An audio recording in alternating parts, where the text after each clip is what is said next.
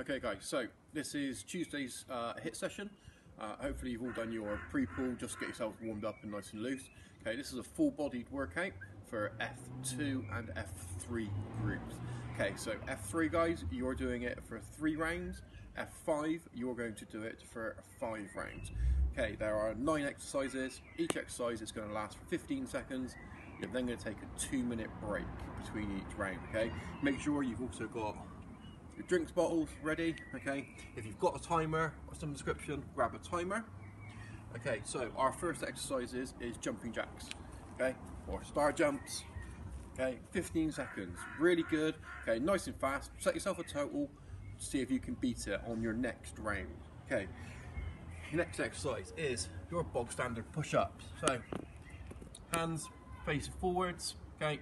Go down and back up, down and back up. Again, set yourselves a target, see if you can beat it. Okay, into burpees, guys. Okay, basic burpees. Okay, facing forward, nice and straight.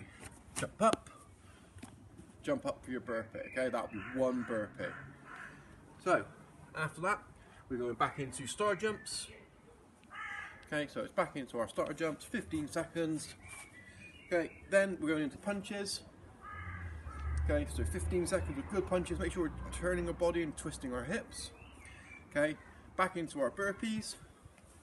Again, if you're struggling with your burpees, take your step in, step in, and really explode and jump upwards.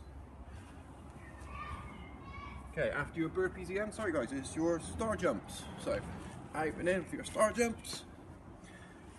Back down to your press ups. Okay, if you're struggling with your press ups, go onto your knees.